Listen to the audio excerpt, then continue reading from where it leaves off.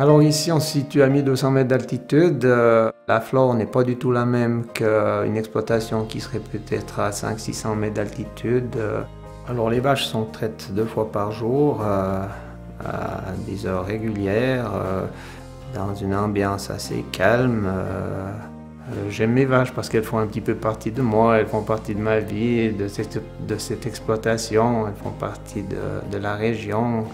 Alors, ce qui me plaît le plus particulièrement dans le vacherin OP, c'est euh, son goût inimitable. Parce que ce lait, il a quand même le goût de la flore, euh, des alpages et des pâturages.